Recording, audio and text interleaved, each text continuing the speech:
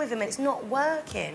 So, I don't know what's offended me more, what you've said or the fag ash breath.